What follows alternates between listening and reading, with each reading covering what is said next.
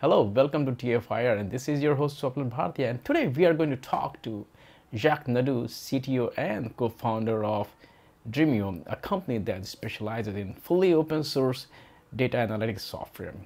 The most interesting thing about this company is that almost 90% of their software is fully open source, and they are heavily involved with three major Apache Software Foundation projects.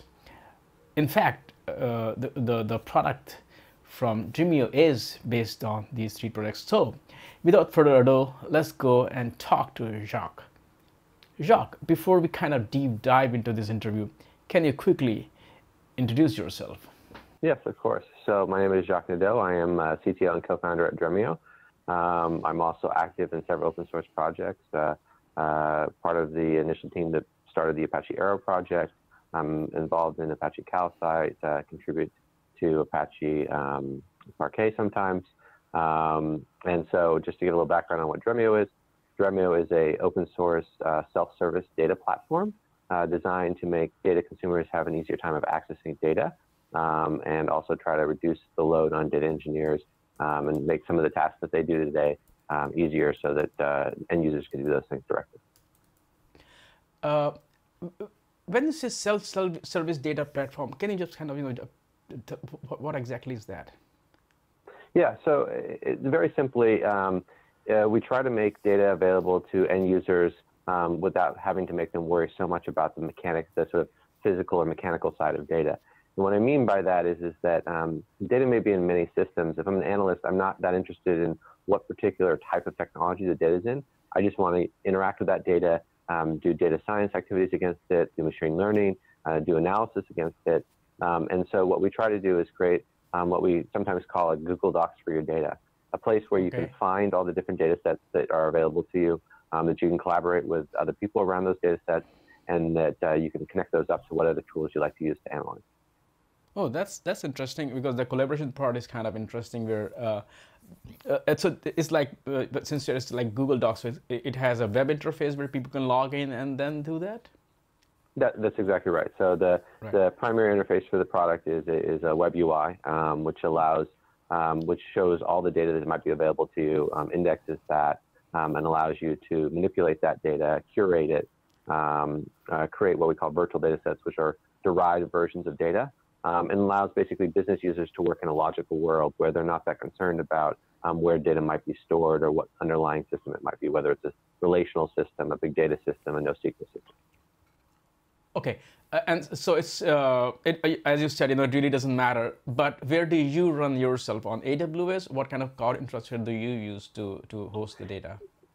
Yeah, so, so today Dremio is a piece of software um, mm-hmm. uh, that is used both on premise and in the cloud. Um, so okay. probably about half and half of our half, our, half of our uh, users and customers are on premise, running in their data centers, half in the cloud, um, mm-hmm. and it can run on uh, a it's a distributed system um, that can run in a um, environment. For example, let's say you're running Elasticsearch, MongoDB, and Oracle. Um, you would run Dremio on um, a set of nodes. It could be uh, maybe secondary secondary read nodes for some of your other systems, or it could be a separate cluster. Um, and then Dremio does uh, work to try to make that data available to end users. Um, it could also be in something like a, um, a Hadoop environment, in a, in a, data lake environment like Hadoop. Uh, um, we can okay. interact directly with something like Yarn um, to deploy um, and use that as sort of containerization methodology. So if you have a containerized deployment, uh, distributed deployment strategy, then we can use that. But if not, you can just put us on bare metal. Okay, so it's like totally multi uh, multi cloud. You know, uh, users can choose where they want to run it.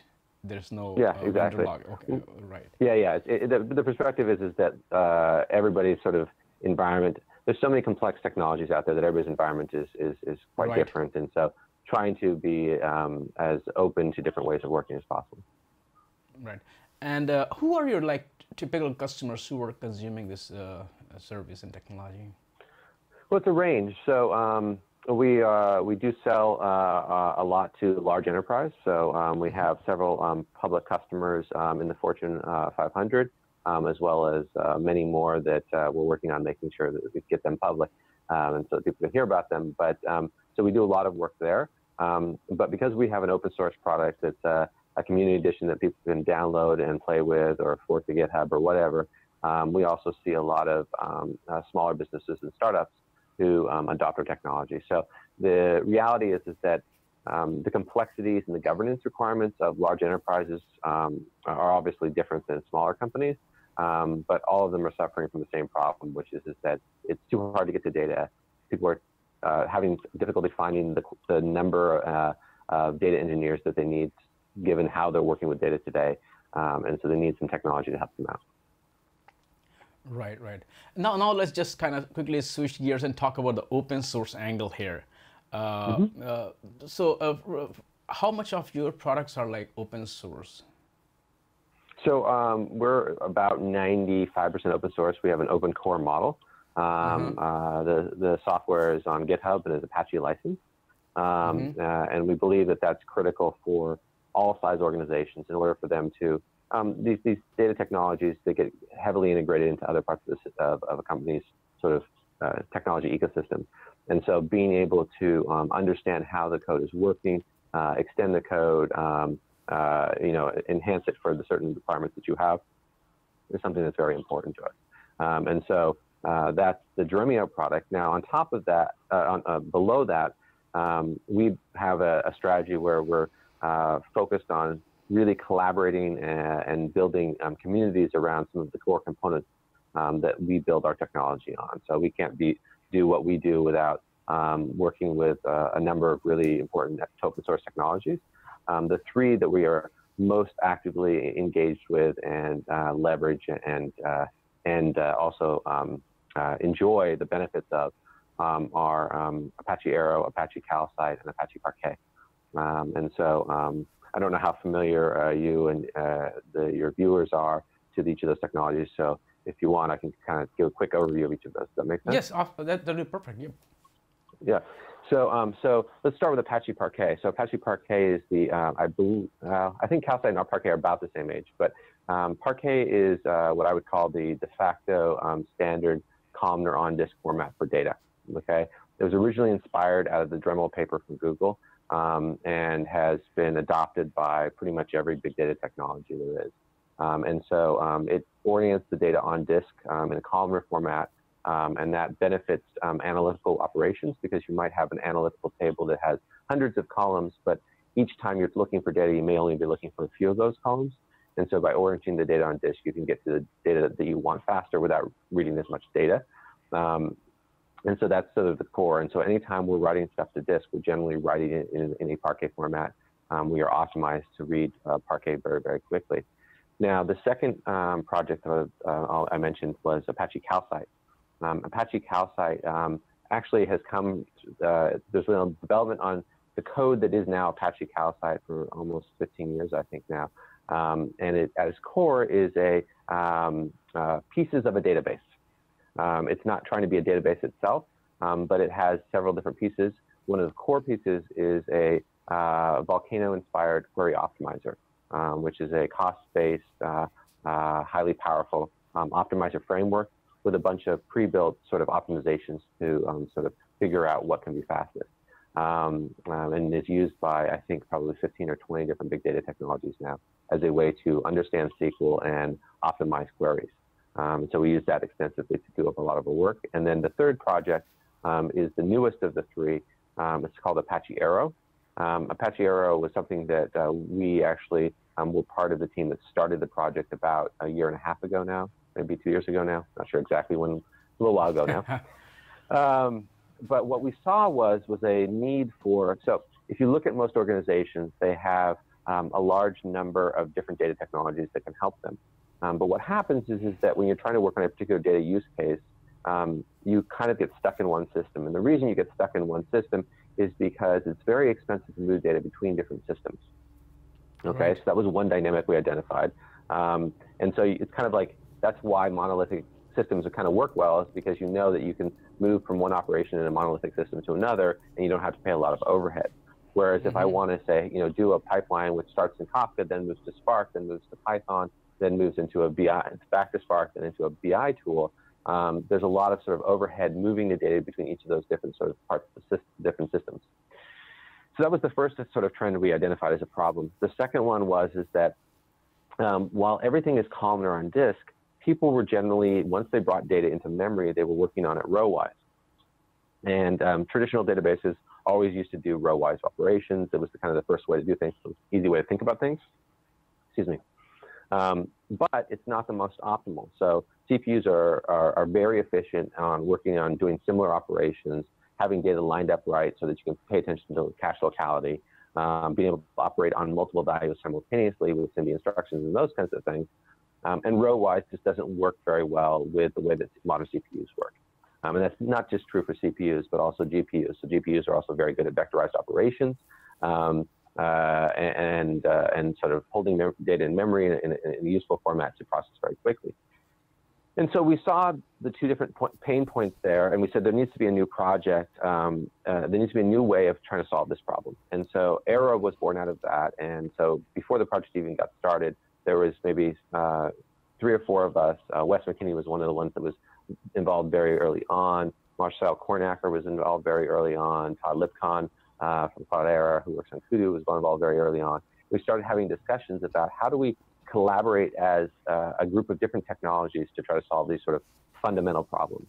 Um, and so had several discussions, ultimately decided, hey, you know what, there's a good opportunity here to build a new, to start a new Apache project. And so we brought uh, people from all sorts of different uh, big data and open source projects together, started up this new project, and really its goals are to solve those two things I just talked about, which is one is how do we have a canonical way of holding data in memory so that it's very mm-hmm. efficient to move between one context and another? Um, and then the second thing is uh, how do we uh, make sure that that's a representation which is very high speed uh, in terms of how fast you can process it and how well it leverages modern uh, CPUs and GPUs.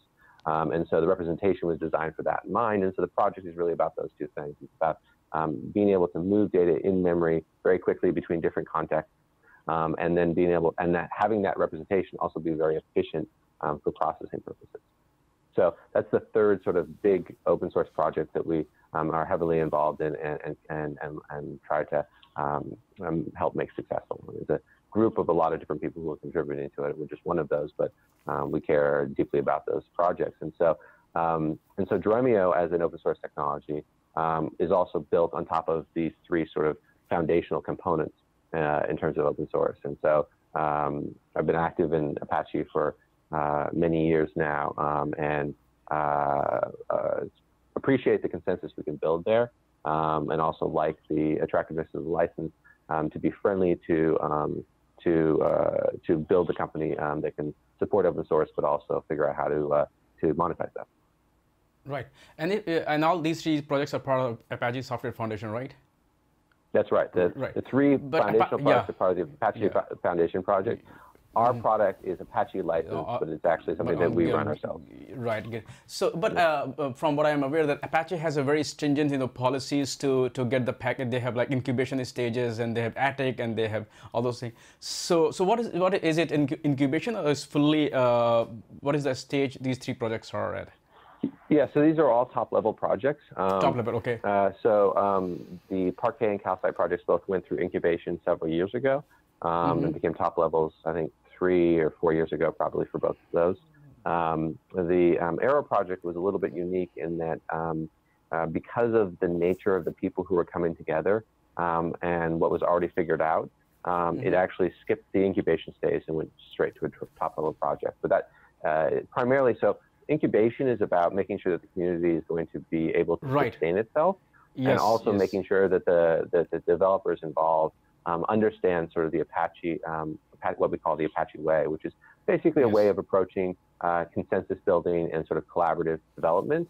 Um, mm-hmm. And so mm-hmm. there's other open source models, but Apache is very much about consensus. And so um, right. the incubation is about making sure that those things are understood and, and, and are part of the community. And so um, with Arrow, I think the people were involved. I think there were uh, maybe 15 or 20 people who were already Apache committers in other mm-hmm. projects. Um, and maybe five or 10 of those were already Apache members, which means that they've been with Apache for a very long time and, and have a, a special set of rules there. Um, and so it made sense to just go to a top level project for that one.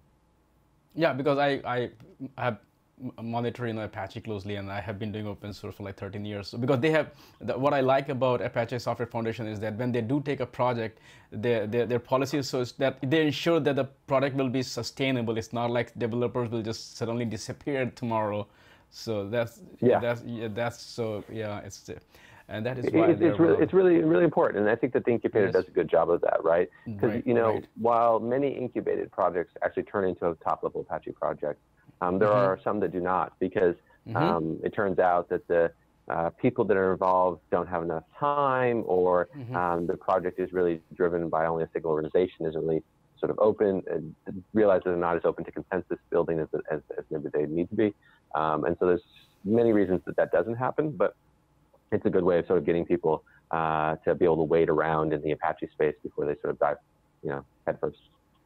Yeah, because one of the concern in open source projects remains, you know, that I, I interviewed Brian Behlendorf a few weeks ago, uh, and the one question was how to ensure that the project is sustainable, because just because it's open source doesn't mean it can still die off, you know. mm-hmm. So yeah, Apache does a very good job there. Uh, in addition yeah, to that, since you are you're yeah you're heavily involved with open source uh, and uh, the company itself is contributing a lot, you know, and open sourcing your product. I remember like uh, when I started my own uh, journalism career, which was like 13 or 14 years ago. I completed my uh, course and, and I, the first job uh, I got was with Linux for You magazine. So I have like for the day one, I have been an open source journalist. Uh, back in those days, one of the challenge was that uh, we had to go out and educate companies that why you should use open source, what are the benefits. But now uh, almost everybody is using open source. The question is who is not using and why not. So the new challenge that we see is that uh, these new users of open source don't actually understand how the open source process actually works. That why you should send your developers to to, to events or why they should you know contribute in their office time. So, so uh, uh, since you have been involved with for so long and you deal with a lot of customers and clients, do you see this pattern there, where companies don't understand? Yeah, I, th- I think I, I, think so. I mean, I think uh, let me say that. I mean, I think at the start you're absolutely right, which is is that um, one of the good things that's happened with open source is that most enterprises now have an open source open source first strategy and so anytime mm-hmm. they're doing a technical evaluation, they, they need to also look at what options available open source. And so that level of corporate sort of uh, sort of top down sort of, hey, this is an important part of business strategy and should be considered, I think is very good. Um, I think that um, uh, businesses are very good at taking care of themselves, right? And and so I mean that's kind of the nature of, of a commercial entity at some level. Um, and so I think that people are very much like they appreciate all of the benefits of open source, right? Because open source allows you to sort of um, uh, you know protect yourself yourself against uh, uh, lock-in, the ability to extend the product um, if you need to, um, the ability to um, you know just solve a problem if you can't get someone else to solve it for you because it's super important to your business. Um, and so I think that a lot of people um, appreciate that uh, part of open source when they're looking at it from a commercial um, organization perspective. Um, I think that people don't really understand how it works. Uh, I think that at the end of the day is, and, and, I think there's two parts to that, right? First of all, realistically, if you look at most, of, well, I don't know if it's most, a large number of Apache projects um, that have been started in the last five years or so um, are um, developed probably um, maybe 70, 80% of the development time that goes into those projects is by one or more companies that are directly benefiting from um, the success of those open source technologies right? Mm-hmm. And so it's a it's a form of sort of um, paid open uh, pay, paid open source or, or, or sponsored open source, right?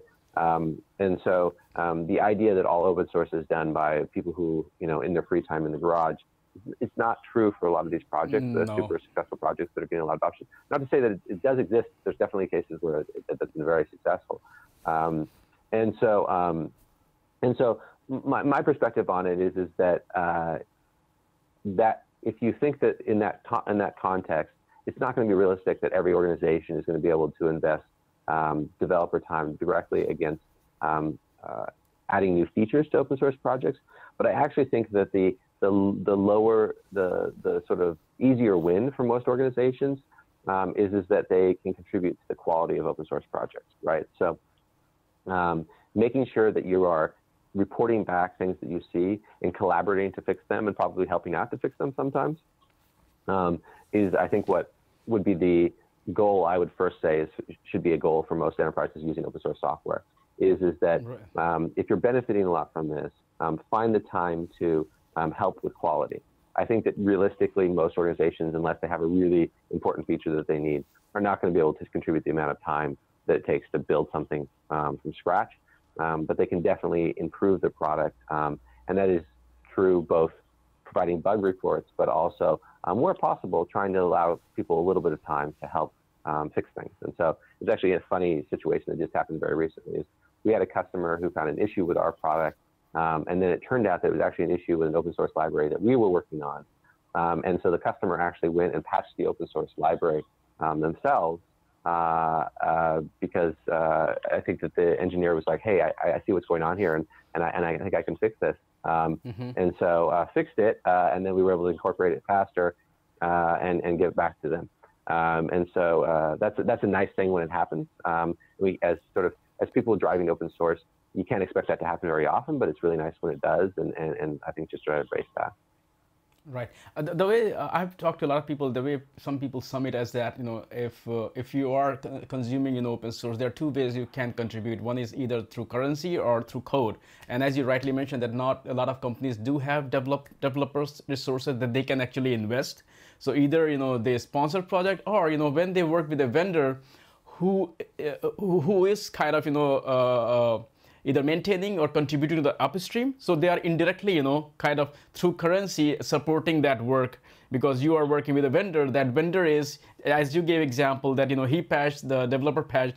So you are giving feedback to that vendor, and that vendor is putting all those changes to upstream. So I really don't think that you know if you are uh, touching open source in any way, unless and until you are just taking the whole code, forking it, uh, running it your own fork, then you are creating a lot of technical debt, you know, then you will not even survive, no point in you. Uh, uh, but I think if you're consuming open source, you are going to help open source in one way or the other. There is no escape. You will be working with a vendor who will help. So that's, I think that's a neat thing people don't understand, but uh, it, it happens. Yeah, you give no, a very I, good example there, yeah.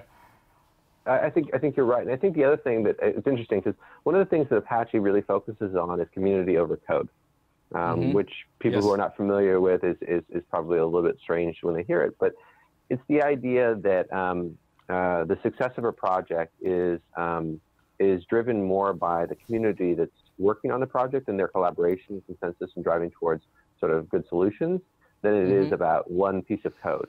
Um, and so we actually talk about, and in many cases, there are PMC and or committers to projects that don't write code right? They right. may provide documentation, packaging, they may um, just help out a lot in testing. Um, and so um, I think it's very important to appreciate all of those things. And that's actually something to go out to people who are using um, open source as well is, is that even if you can't sit down and be a developer that's going to write the next feature or fix this bug, um, that doesn't mean you can't add value to open source and help those communities out. And in many cases, um, uh, those things are actually sorely missed in those communities. Is, is that um, you've got developers that are happy to write code, but are less comfortable writing documentation. Or, um, right. And so if someone else could come in and say, hey, here's a couple of quick starts or a tutorial, um, that can help out a project a lot. Right. So if, if there is a company, I mean, you did give example where, you know, if there's a company who's using uh, open source and working with, you know, a vendor or something like that, uh, and the company itself, they don't have developed, they're a small startup, you know, a small company, they don't have enough developer, they can just, or I mean, when they don't have developer, they cannot even become part of the community uh, to go in there. So how can they uh, realistically contribute even even a, a, bit? What are the what are the options? You know, since you have been in the community for so long, what are the what are the kind of you know opportunities opportunities for them to participate without creating it as you know that oh why should we even bother with that? We can just pay somebody and be done with it. But how can they get involved? Well, I, th- I think going back to what I was saying is, is that it's, it doesn't have to be a developer that's writing code, uh-huh. right? Um, uh, if you have a person who's using your product. Like use cases is a good example. So one of the challenges exactly. that open source people have is, is that they want to figure out ways to test their product. And so right. they can come up with all sorts of unit tests and synthetic data. And I work in data a lot, right? So you're always coming up with synthetic data sets or examples of potential problems. Um, customers can sometimes, depending on where they are, share their use case um, and share details yes, of their yes. use case. Mm. Um, and that can help people, so that can help the customer because it means that the open source project can incorporate that set of use cases into the test suites that are run every time someone does a release. Um, but it also, uh, so that helps out the users, um, but it also helps out the community because the product can be better. The, qual- the quality of the project can, can improve. Um, and so that's, that's one example, but there are many examples of, hey, come in and tell us what you're doing. Tell us, mm-hmm. Um, you know, what, what's good with the product, what's not good. Remember that people are, many people are volunteering on the project. One of the key things, right, is, is that Apache, while there are many people who are paid to work on Apache projects, the relationship to the Apache project itself is something that is a person um, to to the to the um, the, um, charitable organization, right? Um, so it, it's that relationship that actually defines what they can do. And so while they may be being paid by someone because that person is very interested in, in, in adding certain features or functionality to an open source project, the relationship is a personal one. And so um, that, that person at the end of the day is the one who's actually making that commitment. And so um, uh, if you come into a community, um, uh, appreciate those people for what they're doing, uh, where they're giving their time, and, and, when they're spending their time, and what they're caring about. Because uh, open source development, while it may be in many cases paid, is still something you have to be passionate about um, right. in order to do a good job in the community. And so, mm-hmm. uh, coming into the community and saying, "Hey, these are the things that I've learned. These are the things that don't work well. Um, these are all really good things to do." Uh, say, "Hey, here's here's some documentation. I just wrote up a little. You know, I wrote up a short short thing about how we do our use case and and, and you know uh, how we use the product to do that use case. Do a little video. Um, all of those things are very helpful to open source and can be done by anybody. That doesn't have to be done by someone who's developing. Right, and it, it doesn't cost anything. You're just sharing your. But yeah, that's a very. Uh, I was talking to somebody uh, a few weeks ago at DockerCon, and uh, when I asked, his his his thing was that the biggest challenge for us is that uh, because they're fully open source project, and they're like, I, I, I, mean, we wish that our customers will just, you know, just tell their story. We don't want anything else. Just come out and tell that you're using our product, how you're using it, what problem you faced, how you solve them you go ahead download from our github we don't care but at least tell us the story. That will help a lot in mindshare and you know developers to get feedback yeah that's that's excellent you know uh, point. Uh, anything else you would like to touch upon? Uh, like we talked about the product we talked about company we talked about your engagement with the apache foundation. Anything else that you think that we should have talked about but we could not or we did not no, I mean, I, I, would say invite people to come to those communities, right? So mm-hmm. uh, check out what uh, what we're doing uh, on Arrow. Check out what we're doing in Calcite and Parquet. Um, they're they're all really useful technologies. Come come check out what we're doing on Dremio. Um, uh, download the product, uh, you know, fork it. Give us your feedback. Uh, we always like to hear what people are doing with the things that we're building. Awesome uh, I think uh, that sums up this interview. and uh, thanks once again a lot for your time. And hopefully, we'll see you again at the next show. Yes, absolutely. Thanks for your time as well. It was good talking to you. And back to our audience, thanks for watching and listening today. Please don't forget to subscribe to our podcast and YouTube channel. You can find the subscription links on tfir.io slash TV. See you next time. Have a nice day.